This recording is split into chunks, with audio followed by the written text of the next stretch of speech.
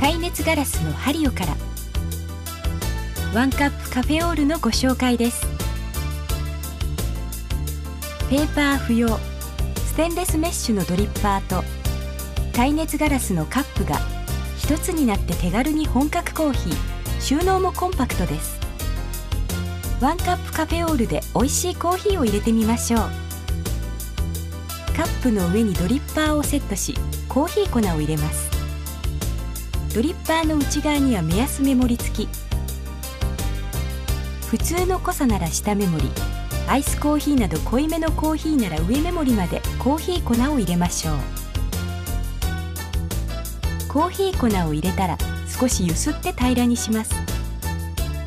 お湯を注ぎ30秒ほど蒸らします。その後中心から渦状にお湯を注ぎます。特殊ステンレスメッシュフィルターでコーヒー独特のアロマを抽出。カップのプリントの位置まで抽出したら出来上がり。蓋は抽出後のドリッパー受けになります。カップに氷を入れればアイスコーヒーも楽しめます。ペーパー不要。1人分でも美味しく。ワンカップカフェオール。ぜひお試しください。